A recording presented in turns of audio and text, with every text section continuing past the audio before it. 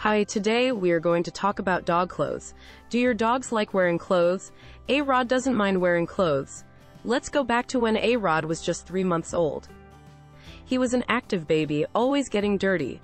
At three months old, he finally had his first grooming and haircut. Unfortunately, the groomer had to trim off all the hair on his back legs because it was all tangled. When I took him outside, other kids laughed at his strange hairstyle. I took him to another groomer to trim his hair short and tried to make it even. Despite that, he still felt upset and refused to eat, probably because he wasn't used to the short hair. He became so skinny, which is when I started buying him clothes. This tiger jersey was his first piece of clothing. If you are looking for dog clothes, do you know how to measure your dog? This is how I measure my dog's size when I buy clothing. Neck size and chest size. The chest size is measured behind the front legs. When I want to put a sweater on him, this is how I do it,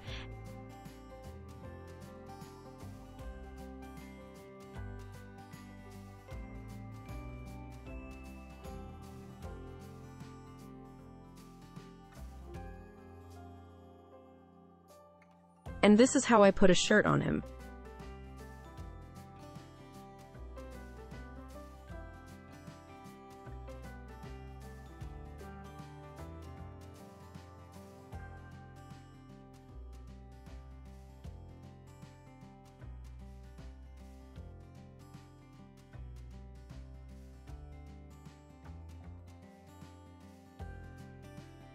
Lastly, I'd like to promote our store, United Pups.